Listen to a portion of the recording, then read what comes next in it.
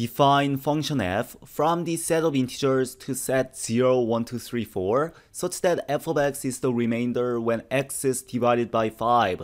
Put another way, f of x is giving us the value of x mod 5. Anyway, let's go on.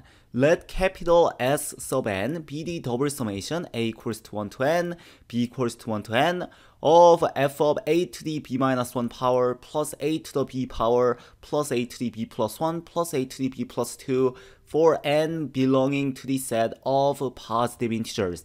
Now the main thing we want to focus on is that b minus 1, b, b plus 1, and b plus 2 are consecutive integers. And when we're taking powers of x to consecutive integers, usually there's a pattern that's going to unfold. So maybe this is going to help us out. Okay, so what do we want to find? If n is equal to 5k plus 3 for some non-negative integer k, prove that s of n can be written as alpha plus beta k plus gamma k squared for real alpha, beta, gamma, and find alpha, beta, and gamma. Before we go on, I want to recognize Gabriel N, who was the very first person to correctly answer this challenge with the answer 12, 33, and 20. A huge shout out to Gabriel N, and let's see if we can simplify this expression as well.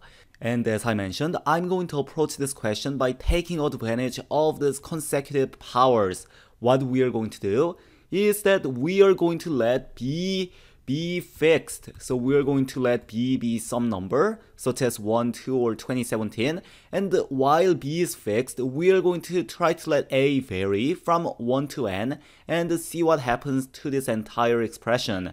And you may say, are we allowed to let b be fixed? when A is outside and B is inside? Well, the answer is yes, because we have a finite double summation, and when both summations are finite, we are allowed to switch their order, so we can let b be fixed, a be fixed, the summation is going to be the same. So let's think about what happens when we apply our function f to a raised to 4 consecutive integer powers. So for example, let's let a be congruent to 1 mod 5. In this case, a to the first power is going to be 1, a to the second power is going to be 1, a to the third power is going to be 1, fourth power, it's always going to be 1. How about when a is congruent to 2? So that's when a is congruent to 1. So how about when a is congruent to 2? In this case, 2 to the first power is 2, 2 to the second power is 4, 2 to the third power is 8. Take mod 5, going to get us 3 and multiply by another 2 gets us 6, 6 mod 5 is 1. And of course, when you multiply by another 2, we're going to get 2 again, and we're going to have this 2, 4, 3, 1 repeating over and over and over again. How about when a is congruent to 3 mod 5? Well, that's 3. Then 9, which is 4 mod 5. 4 times 3 is 12, 2 mod 5, 2 times 3 is 6, or 1 mod 5. And once again, when we multiply by another 3, we're going to go back to 3. So 3, 4, 2, 1 is going to repeat. And when n is congruent to 4 mod 5, we're going to get 4. 16, we're back to 1. And 1 times 4 is 4, then 1, then 4, then 1, so on. So in this case, 4, 1 is repeating. And finally, when a is congruent to 0 mod 5, we are always going to have 0 except when we are raising a to 0 power. What do I mean by that? Well, think of any number 0 mod 5. So for example, a equals to 10 is congruent to 0 mod 5.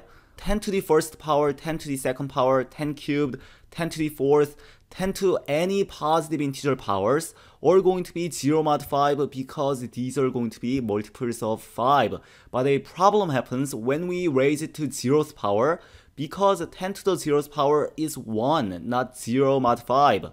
And as we can see, we are starting at b equals to 1. So when b is 1 and only when b is 1, we are going to have a to the 0th power. And when we are raising a to the 0th power, we are always going to get 1. It's always going to be 1. And the only problem that I see is that we still have the pattern. We have pattern of bunch of ones. We have patterns of 1, 2, 4, 3, 1, 2, 4, 3. We have pattern of 1, 3, 4, 2, 1, 4, 1, 4, 1, 4. All of these are fine except the pattern is breaking apart when A is congruent to 0 mod 5. So we have to pay special attention when B is 1. So let's do it by casework. We are going to first start with the case when b is not equal to 1, b is a fixed integer not equal to 1, and we are going to let a vary. And in the second case, we are going to let b equal to 1. So in this case, what is happening? Well, when we add up four consecutive powers of a, no matter where we start, we are always going to be adding up 1, 1, 1, 1. So in this case, we are adding plus 4. How about the second case? Well, no matter how we started, we are going to be adding up 1, 2, 3, and 4. And 1 plus 2 plus 3 plus 4 is 10. So we are going to be adding our function evaluated at 10, or we are going to be adding 0 because 10 is a multiple of 5. And how about the next case? Well, here we are going to be adding up 1, 2, 3, 4, no matter how we started. So 4 consecutive powers of 3 is going to contribute 0 to the sum as well. In the same case for this one, 4 consecutive powers is going to contribute 1, 4, 1, 4, which is 10 congruent to 0. And last case is pretty obvious when b is not equal to 1, we are going to be adding up 0. So what is this telling us? Well, when b is a fixed integer not equal to 1, as a cycles in a group of 5, from a congruent to 1 to a congruent to 0, as we are cycling, we are adding 4. So the value of the entire summation is increasing by 4 every time a cycles in a group of 5 for a fixed value of b.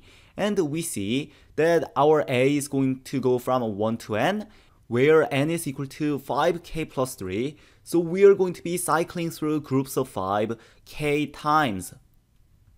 So that's telling us that we are going to be adding up 4 k times, so we are adding 4k to the entire summation, and in the final incomplete cycle, in the final cycle, where we are going through 3 values, so when we are going through a congruent 1, congruent 2, and congruent to 3, we are going to be adding up another plus 4 to the entire summation. So we are going to do 4k plus 4. And we are adding up 4k plus 4 for every single value of b not equal to 1 and it does not matter what the value of b is. So we are going from b equals to 1 to n and because we are not counting b equals to 1 we are going to multiply this by n minus 1 and we want the final answer in terms of k. So let's let our n be 5k plus 3 so our n minus 1 is 5k plus 2 so so far we have a 4k plus 4 times 5k plus 2, which is 20k squared plus 20k plus 8k, or 28k plus 8. So that's our polynomial so far. And we have one more case to consider, and that's when b is equal to 1. Well, when b is equal to 1, we are only going to be considering powers of 0, 1, 2, then 3. And in this case, when we are raising something to power of 0, we are always going to get 1 mod 5 even if the number was 0 mod 5.